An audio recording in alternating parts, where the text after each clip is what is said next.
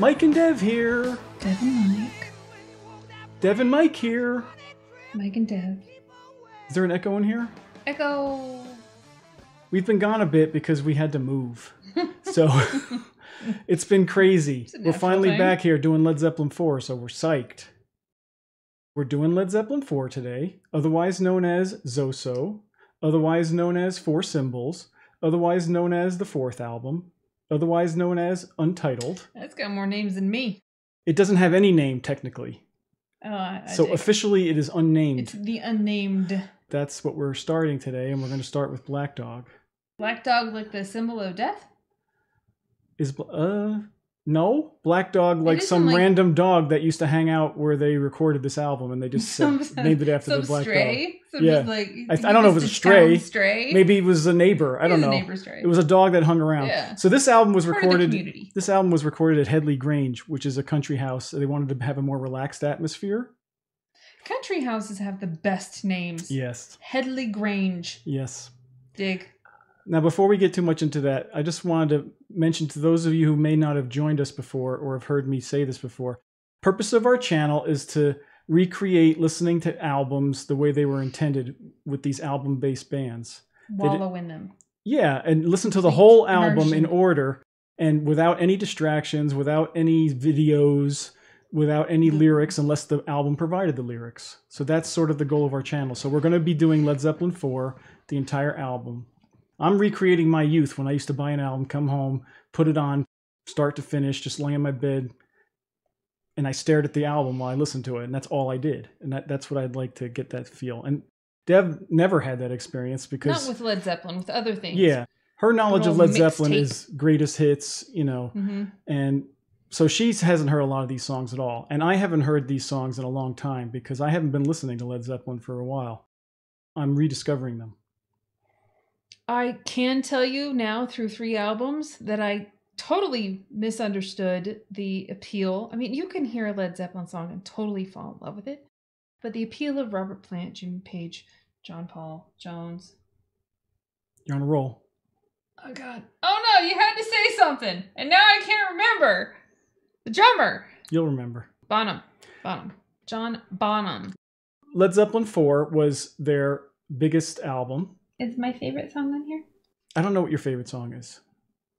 Well, you don't know me at all. Oh, I know what your favorite song is. no, Cash- Kashmir Kashmir's not on this album. Here's the album cover. Give me some art. All right, I'm so it's very the. sparse. I won't say it's like rustic chic. I'll say it's the. uh I love the crumpling wallpaper. Somebody was into flowers. I don't think that's wallpaper. I think that was yeah. I don't know what this is the with the leaves, the leaf patterns. Oh, Unless okay. it was a, a tinted stamp, but I don't think so. They're too uniform. Well, it's some wall of an the abandoned building wallpaper or is peeling and off of the Yeah, I don't know- crumbling wall. And that painting, I think, is a painting that Robert Plant just had. So they thought it would look cool, so they just hung it in there. But to me, I'm getting sort of a country city vibe. Love that dude. The dichotomy between, you know, the block of flats and the greenery in the foreground. I don't know much about the painting, but I don't think the painting had any particular significance. Fine. That's the front and back cover. And you notice there's no words on it at all. Nothing. No Led Zeppelin, no title for the album, nothing. I don't know if the spine had anything on it. I can't recall. I'm sure our experts in the comments will tell us. And then- why did they choose to do this? because To of the like mixed this? reaction of Led Zeppelin 3, Ah. The critics kept comparing it to Led. Zeppelin 2. They wanted to just like, look, we're not even going to give you a hint of what this is. No comparing this to anything. This is just what it is. It stands on its own. I think that's sort of the message they were trying to give with this. Here's the inside.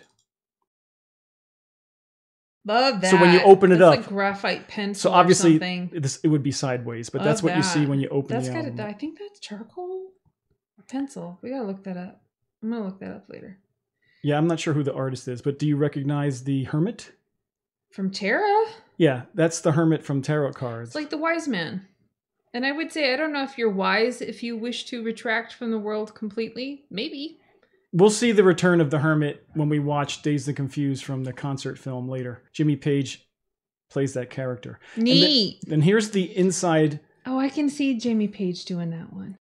Here's the sleeve that the album came in. Okay. And those are the four symbols. Okay. The So first one is? Jimmy Page. Okay. Don't Which- ask me what these mean because I don't know if they mean The anything. for first sure. one looks like a, an interesting, like Arabic symbol. Doesn't that look Arabic to you? Mm, I don't know what it looks like. It's cool though. It is cool.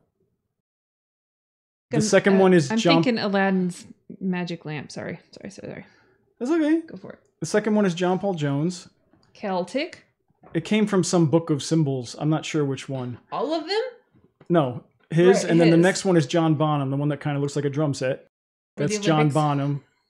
Half the Olympics. Half the maybe. Olympics. Uh, yeah. People used to make fun of that because if you turn it upside down, it's this. It's the logo of Ballantine beer, and John Bonham was known for throwing back a few. So, Everything is connected. and the last one is Robert Plant, and I believe he designed that one himself. He's the page. He's the poet. He's the lyricist, Mm-hmm. and I believe he he did that one himself. That one's cute. I like that. So I like that's- feather quills too. But that was it. That's the only thing that gives you an implication of what this album is. And then I Oh, believe these four the symbols song. also Okay. appeared on the label that was affixed to the center of the vinyl. so this is a front and back one. Yeah. Records have two sides. These aren't laser Shut up. discs or CDs. These are albums. I love that typography. Before we get into listening, just a quick thank you to our patrons. Thanks, patrons. It's really helping out the channel. Please check out our Patreon if you haven't yet. Link in the description. What we have on our Patreon are basically extra videos. That's the minimum that you get, but there's different tiers and different perks. So please check it out if you can. And please subscribe. We need subscribers. We always need subscribers. That's the the holy grail on YouTube. It really helps out a lot. So if you haven't subscribed yet, please do. And we want to thank all you guys for all your comments and likes. We really enjoy entertaining. and they help the algorithm and we really enjoy the comments. Okay, that- some that's it. knowledgeable peoples. Yay, knowledge. Okay. So this album was really big and it was a huge critical success as well. They recorded at Headley Grange. They have a really good sound on this album, especially the drum sound. And it's because of the acoustics of the place, the way they mic'd it. They were using the Rolling Stones mobile studio. So this was something that the Rolling Stones had. The first thing we're going to listen to is something by Fleetwood Mac because on this channel we sometimes try to listen to songs that may have influenced the song we're listening to. Mhm. But it was a big song back then, 1969, Fleetwood Mac, before Stevie Nicks and all those, you know. Which I didn't know was a thing. So it had the bassist and the drummer that they had in modern day, but the other people were different people. Black Dog has a vocal trade off between the vocals and the band, and then the vocals and then the band. And this song did that as well. And it's let's, let's listen to a little It's bit like of the it. dueling banjos, but with voices and instruments. I, however you want to think about it. Do do do do do do do do. It doesn't come here. All right, so this is this is Oh Well by I Fleetwood need Mac. analogies.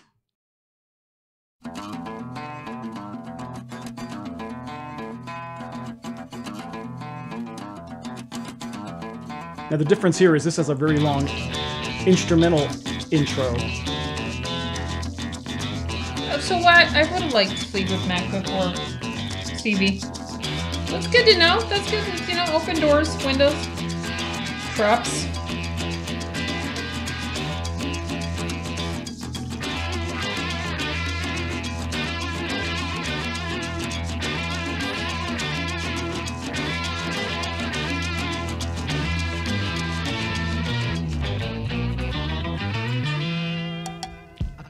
About the shape I'm in. I can't sing, I ain't pretty, and my legs are thin. But don't ask me what I think of you. I might not give the answer that you want me to. That's almost.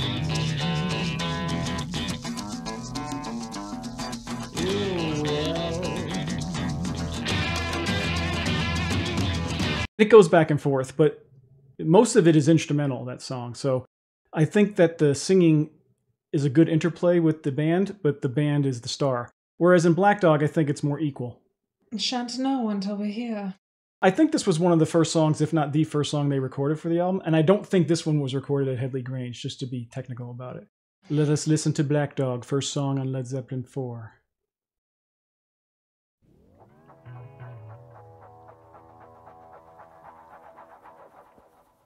Hey, hey, mama, Oh, okay.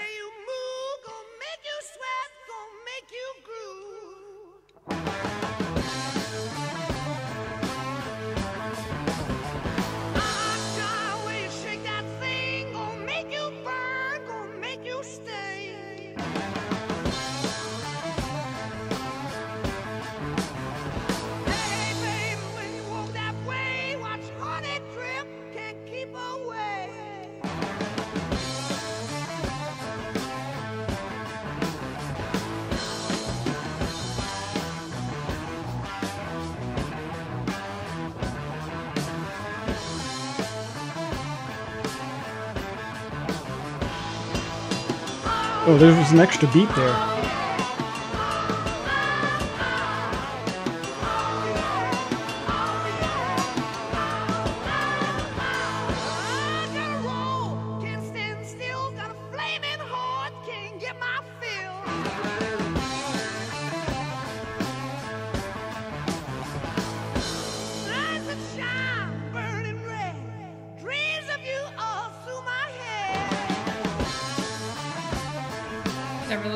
Lyrics. Not really. They're very alpha dog lyrics.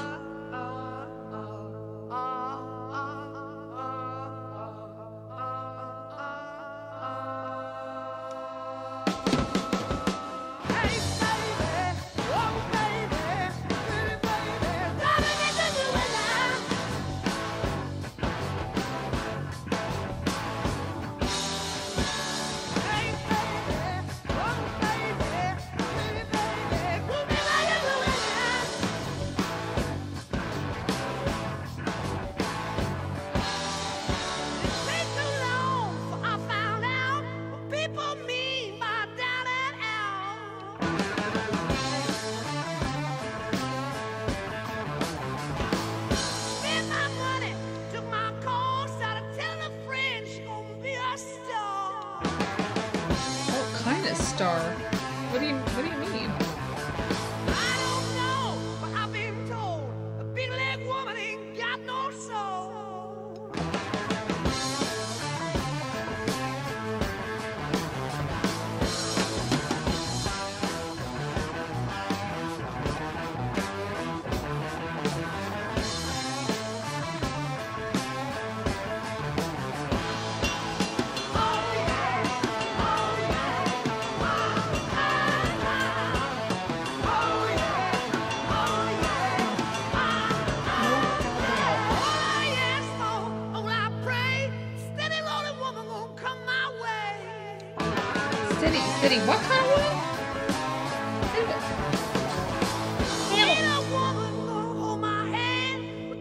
Lies, make me a happy man.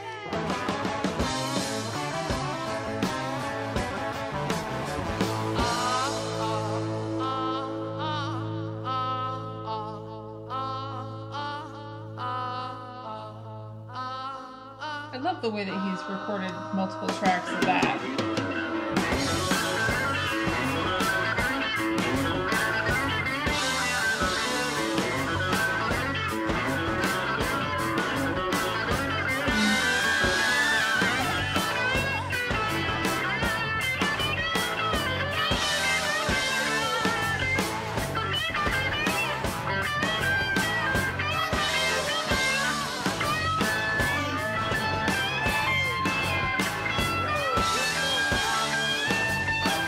Getting chills.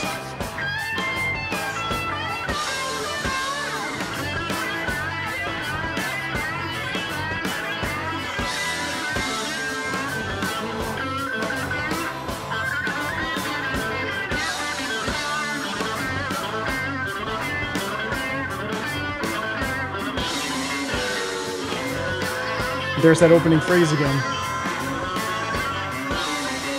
I like the panning, the voice panning and stuff.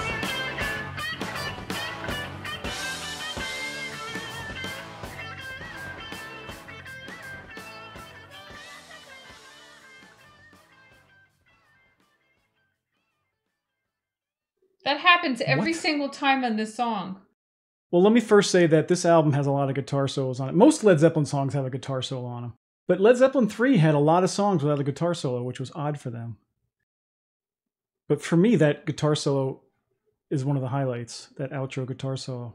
This is like the quintessential hard rock song, right? It's got screaming vocals, Okay. it's got awesome guitar riffs, a killer solo, it's got lyrics about the ladies. And not sappy romantic lyrics either, if you know what I mean, no, ladies. no ballad. I just want to also give props again, Robert Plant, another virtuoso singing performance. A lot of high singing. Some of those high notes he was doing in concert, but I don't think he could sing the whole song that high in concert. That's challenging. I love the way that he layered them. Yeah. That was really, really neat. And I hadn't heard that before. Like, I actually paid attention to the different layering. components of those. But you see how in that song, as opposed to the Fleetwood Mac song, like the vocals are just as important as the band and vice versa. Whereas the Fleetwood Mac song is mostly the band. That's got to be one of the most iconic vocal openings to a song that exists in rock music. I was thinking maybe Bohemian Rhapsody, but I can't think of any other song close. I heard John Paul Jones wrote that riff. I'm sure he and Page worked on it. One of the goals was they wanted to make it complicated so that other bands couldn't easily copy it that's not the kind of thing you just pick up and start playing. You got to learn that and practice that, especially that part after the singing where it goes na na na na na. na. I'm gonna play that. Let me just play that part again real fast. In high school, a friend of mine used to, a couple of people used to say like, "Oh, the guitar falls behind there." You know, he can't keep up, and then and then he catches up like later. That's what it kind of sounds like if you're just casually listening to it. But if you actually listen to it closely, the guitar and the bass, first of all, are totally in unison. They wouldn't fall behind at the same time. And also, they're playing the same frequency of notes. They're just playing more notes that don't fit into the measure. So they're they're playing on a different time signature than the drums are playing, which is fascinating to me. Let's listen to that part.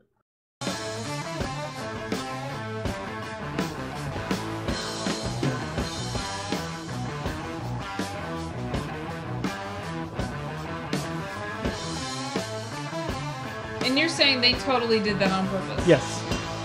Oh, because they, play at the same. Or they play it like that every single time. They play it like that every single time. That's the way everybody plays it. That's interesting. The drums just have a four-four beat going on. I wonder if you had to have like earplugs in at special intervals.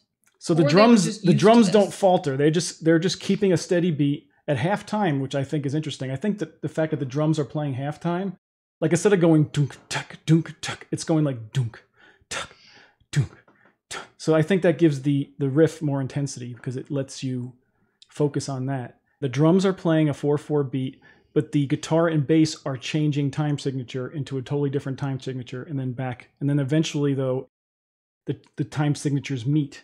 Like there's extra beats say in the in the guitar part, but if you do that enough times they'll sync up again. You don't have to hang out for this part, Dev. I'm going to listen to it again off camera and then figure out the time signature thing going on and then we'll be back with Dev. Okay, I listened to that part of the song again. And what I heard was as I said before, the drums playing at 4/4 the entire time with a 5/4 measure at the end of the section. Now the guitar and bass started out at 4/4 with the drums, and then there's a 5/4 measure followed by a couple of 9/8 measures, and then a 2/4 measure before it's back in sync with the drums at 4/4. That's the way I heard it anyway. Let me know what you think. I'm going to play it back for you now with my time signatures displayed while the song's playing.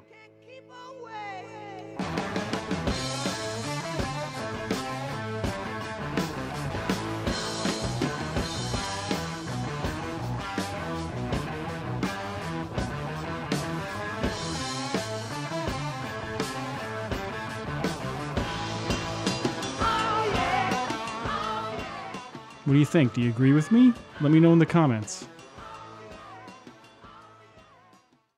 One thing we often do on this channel, we occasionally listen to cover songs.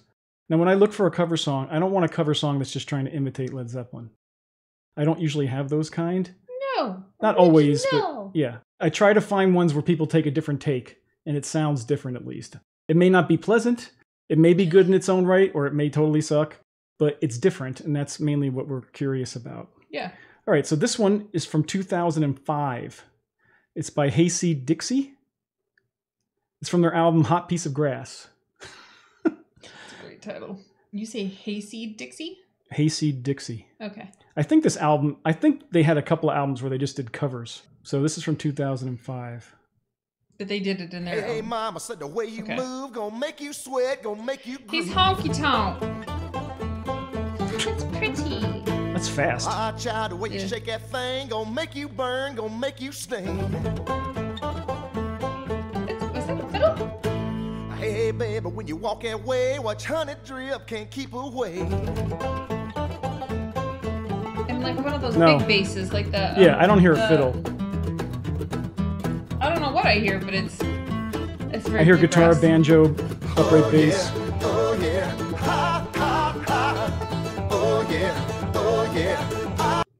So This is ha ha. that was interesting. That was It was cute. cute. It was cute. I want some peanuts now. I don't know if anybody else, show. if you're familiar with Barenaked Ladies, for some reason the singing there sounded just like Barenaked Ladies. So that was weird. That's what I. That's just I the first thing that popped in my head when they started singing. There's different guys, first of all, that sing on Barenaked Ladies. It's not the I same guy. the- It's not the, main guy though. no, not that guy. There's Oh. another guy that sings some of their other songs. If you told me that was Stop Barenaked doing right Ladies, I would have believed you because that's the kind of song that they would put on their album. Not the guy that sings One Week, for instance. Not that guy. The guy that's Okay. the other singer. I'm curious in the comments. See if you agree with me. Maybe there can. Now, this other one, I had to pick two because there were two interesting ones that I couldn't decide between.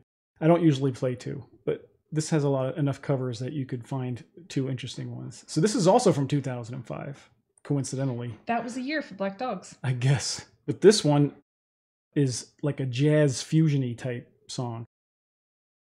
I'm dying to hear how they chose to treat it.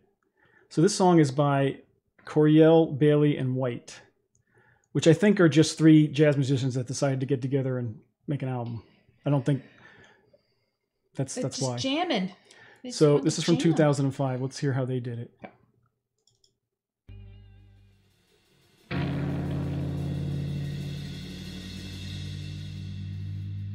That's jazz. What is that? Oh, this is that's jazz. Excuse me while I You'd never know sneak that that's going to around turn into Black in a Dog. back alley. Oh, wait, wait, there it is. It's like the mellowest way to do Black Dog. Okay, so they made it a swing tempo. So that's different. Need a boa. It's a boa, not a tassel.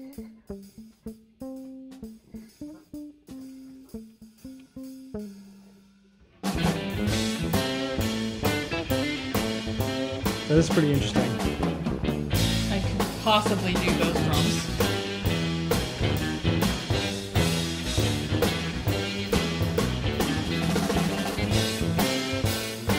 Good for them. Yeah, they're having fun. Yeah, okay, Very interesting. fine. Was not expecting that at all. The most dynamic part, like the singing, screaming part, was the mellowest version of that you could ever do with like a Mm. very quiet little guitar. Mm-hmm. Mm, You can barely hear it, man. That's cool. It's like a lady taking off her split. I like when people take it and make it their own. One last surprise. I happened to see this guy on TikTok. It's either from TikTok or YouTube. Aaron Paulsen, that's the guy's channel. He does a lot of shorts. Okay, let's check that out. Why is every Led Zeppelin song just like, Hey mama, while you're 15, well that's okay, cause I'm a creep. That's not the. This is the guy. Hey, right on, man. That's all right. The, the symbols, not. Uh,